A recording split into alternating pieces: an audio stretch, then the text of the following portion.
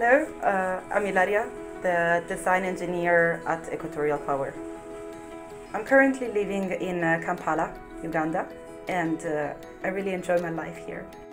I'm here for my job at Equatorial Power uh, that uh, takes care of uh, developing mini grids which connect rural communities to electricity. At UEA, I studied the Bachelor's Energy Engineering which uh, took care of uh, understanding and studying uh, the technologies in the renewable, nuclear and fossil fuel fields. UEA was a perfect start for my career.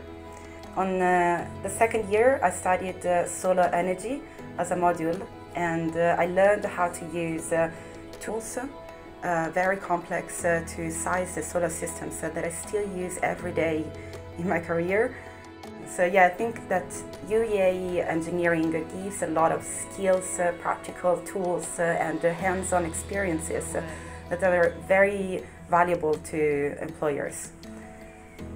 When I was at UEA, I realized that uh, I actually have confidence uh, in doing things that I was not expecting from myself before.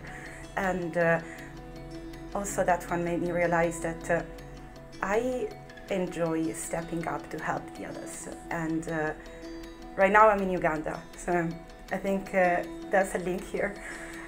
At uh, Equatorial Power, we have access to data from uh, before the communities had access to electricity. And uh, it's beautiful to see an improvement also in uh, child education and gender equality or economic growth. So yeah, it's inspiring and uh, motivating. It is uh, deeply rewarding.